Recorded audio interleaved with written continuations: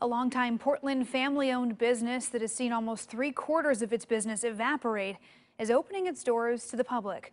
Kohr Harlan shows us how a big wholesale restaurant food supplier is now turning to retail for help. Columbia Empire Meat Company supplies meat to well over 100 Portland area restaurants that have closed their doors to customers. To try and make up for that shortfall, they're now selling just about any meat you're accustomed to seeing in a restaurant from their Portland warehouse on southeast Milwaukie. And you will call, you'll tell us what you want for your family for the week or the month, throw it in your freezer, pull it as you need it. And we're going to work on food boxes in the next day.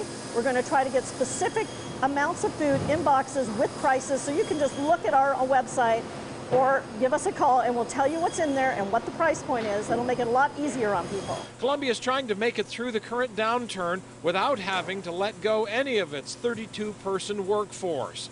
They sell everything from steaks to bacon, ground beef, and chicken, all the way up to rib roasts.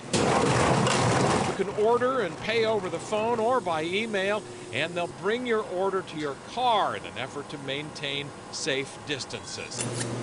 Columbia Empire is located on southeast Milwaukie in Portland, all in the name of shopping local and all in the name of keeping people employed. In southeast Portland, Kohr Harlan, KOIN 6 News.